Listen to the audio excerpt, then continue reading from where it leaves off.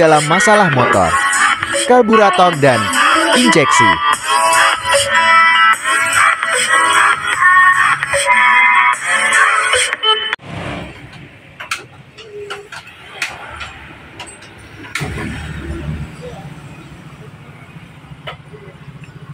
Oke, bosku selamat kembali, selamat berjumpa kembali di channel kami Bengkel Pelek Service di mana kesempatan pada sore hari ini kita kembali ada garapan satu unit ya. Di sini bit LED ya bit LED yang sudah dipasang alarm. Tetapi di sini setelah dilakukan pemasangan alarm tetapi di sini tidak bisa uh, dikunci. Ketika ini gembok digembok untuk motor ini gembok ini tekan gembok untuk kunci kontaknya tetap bisa hidup. Di mana seperti yang biasanya yang kita ketahui ketika sudah ketika sudah selesai kita pasang alarm ketika kita tekan gembok ini motor seharusnya tidak bisa hidup karena sudah di digembok oleh alarm ini semua untuk kelistrikan daripada kinerja di, daripada ecunya tetapi di sini yang menjadi permasalahannya ketika pun digembok ini motor bisa tetap hidup jadi bagaimana cara penyelesaiannya dan tutorial kita pada kesempatan pada sore hari ini.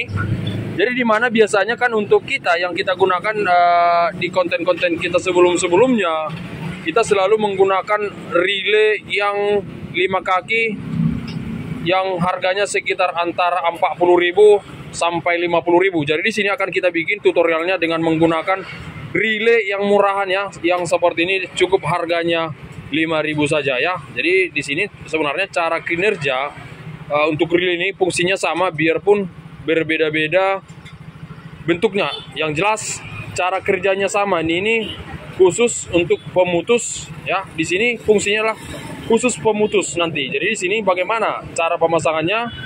Terus simak video kami dan yang sudah subscribe channel kami tetap kami katakan terima kasih banyak dan yang belum tetap kami terima kasih banyak dan di sini tetap seperti biasanya kita pastikan ya, jangan di skip buat teman-teman supaya untuk pemasangan alarm bisa kita pastikan untuk kalangan sendiri ataupun buat mekanik para pemula bisa dipasang sendiri. Oke. Dan inilah hotel sepeda motornya. Dari mana, Tang Bang? Dari mana kita, Bang? Pasar 8 Tembung, Bang ya? Oh, suruh. Mana, Bang? Oh, jauh-jauh Bang dari ring rupanya datang ke bengkel kita ya. Dari ring datang ke bengkel kami, bengkel Felix Service ya dan kebetulan juga buat teman-teman yang mau datang ke bengkel kami, bengkel kami berada di Jalan Perjuangan Pancing. Kalau melalui dari Google Maps, boleh di sana Google Maps bengkel Felix Service di Medan Tembung. Oke, seperti itu. Oke, di sini seperti biasanya ya teman-teman ya. Uh, di sini kalau untuk relay lima kaki uh, yang biasa kita gunakan itu, jadi sebelum kita pasang untuk relay lima kakinya, biasanya kan kalau untuk relay lima kaki yang biasa kita pasang itu kan uh, seperti ini. Oke, jadi di sini untuk uh, relay yang biasa kita pasang itu, yaitu relay yang lima kaki, ya. Jadi untuk 8 anamnya ya. 8 anam 8 7 8 5 dan 30 dan 87A jadi inilah relay yang bisa bisa kita pasang di alarm yang menggunakan relay 5 kaki jadi setelah sudah kita tahu fungsi ataupun nomor-nomor ini sudah tahu kita fungsi nomornya masing-masing baru boleh kita pasang ke relay yang harga 5000 ini. Oke, jadi di sini untuk langkah pertamanya dan untuk alat-alat yang kita perlukan itu harus ada solder ya seperti itu harus ada solder dan satu lagi harus ada juga uh, isolasi bakar seperti ini. Tujuannya karena ini memang pinnya kecil sekali jadi sini harus menggunakan solder. Oke.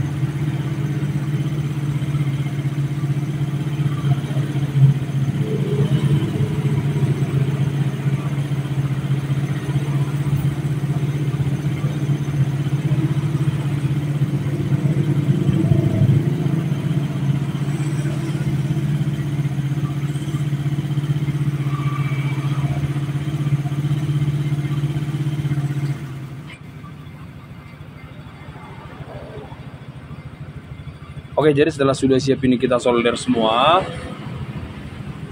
Jadi karena di sini pun untuk kabel-kabel se- sebelumnya sudah disambung ya seperti biasanya. Kabel jaga samping ini kita potong baru kita sambung. Jadi itu yang akan kita sambung ke relaynya ini. Jadi di sini perlu kita ketahui kan kalau relay yang lima kaki yang biasa kita pasang itu di sana sudah tertentu nomornya. Jadi di sini kalau untuk relay yang kecil ini ah, yang biasa kita dapatkan ataupun di toko-toko elektronik yang murah yang 5000 kalau yang relay 5 kaki yang biasa kita pasang itu itu agak susah mendapatkan relay seperti itu udah itu udah susah dapat barangnya harganya pun mahal sekali ya seperti itu jadi di sini di sini catatannya untuk ini untuk paling atas ini yang paling atas ini yang paling atas yang paling kiri ini angka 86 ya. Ini yang 86 nya oke. Dan di sini untuk bagian tengah.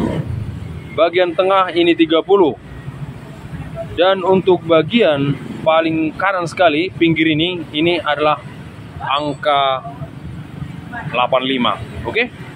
Dan paling ujung ini di bawah ini di bawah lurus ini ini untuk bagian paling bawah sekali ini ini adalah angka 87 dan inilah 87A jadi setelah seperti ini ketika kita sudah mengetahui posisi angka uh, angka daripada pin-pinnya ini untuk proses pemasangannya sudah sangat gampang sekali ya. Sudah sangat gampang sekali ketika kita sudah mengetahui titik daripada pin-pinnya ini. Oke akan kita gambar dulu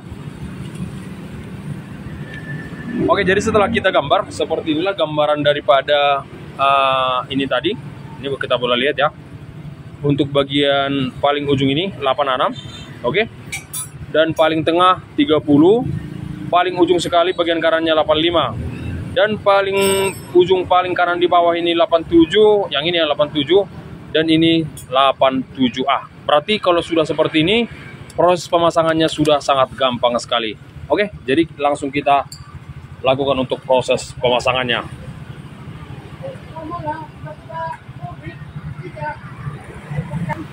Oke, jadi di sini kabel yang ini yang merah ini tadi, nah ini tadi sudah kita potongnya. Jadi tadi di sini awalnya untuk kabel yang dari abu-abu ini, abu-abu dan pink ini tadi disambungkan ke modul ini langsung. Jadi kita sudah potong.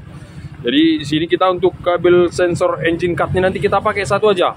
Satu, mau pakai abu-abu boleh, mau pakai biru, eh apa ini pink boleh. Tetapi harus satu ya, harus satu. Jadi adalah uh, relaynya, relaynya yang akan kita gunakan. Oke? Jadi saat karena sangat kecil gampang jatuh.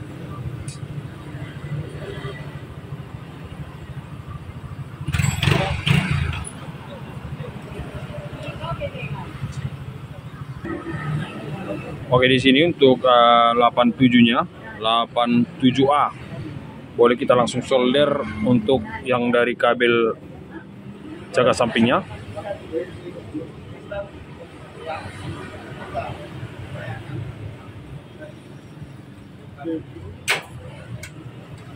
Kabel 87A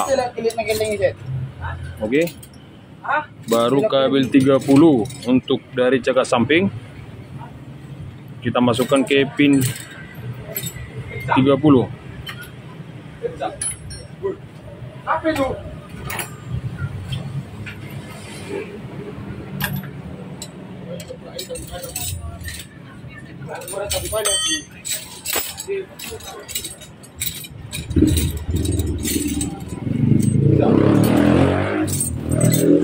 Oke.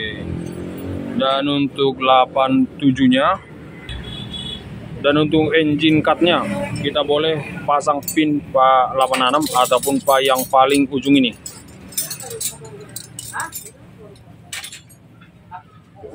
Oke yang paling ujung. Oke baru tinggal 85 dan 86 jadi di sini perlu kita penambahan kabel lagi untuk 85 ini kita jadikan arus 12 volt arus 12 volt oke Dan untuk 85-nya eh 87 ya. 87-nya di sini yang kita akan jadikan masanya. Oke.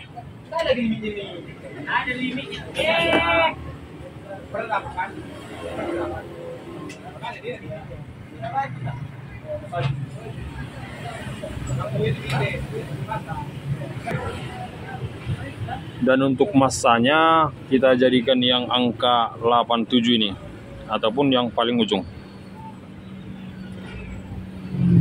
Oke. Dan untuk masanya ini yang masanya ini boleh kita sambung ke apa itu? Hah? Karepul pump. Ntar ya. Ganti juga kare karepul pumpnya. Jadi sini boleh kita ambil eh, ini kita boleh lepaskan pinnya ini boleh juga. Jadi masanya kita masukkan ke songket daripada untuk eh, charger apa ini charger HP-nya. Oh. Apanya lagi, Cok? Ah, oh, Cok. Dan untuk eh, 85-nya ini eh 87 eh 85 85 yang arus 12 volt kita boleh jumper ke eh, arus 12 volt ataupun ke merah modul alarm ini oke? Jadi akan kita tes. Jadi di sini tadi tujuan daripada mulu ini relay ini ketika ini kita gembok ketika kita tekan gembok motor tidak akan bisa hidup ya oke ini kita sudah tekan gembok jadi akan kita tes masukkan kunci kontak ya. Ini. Ini kita hidupkan.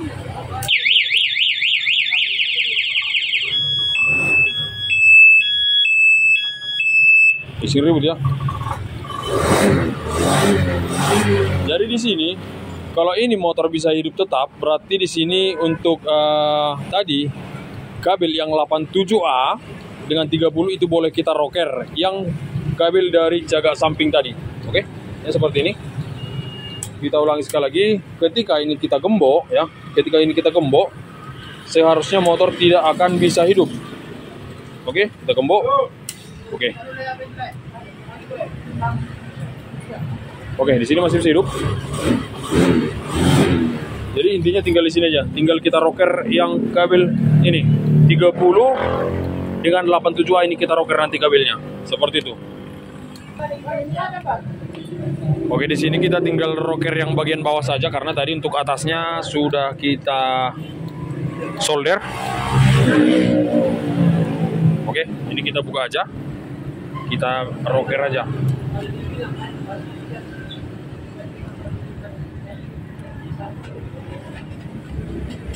ya kan?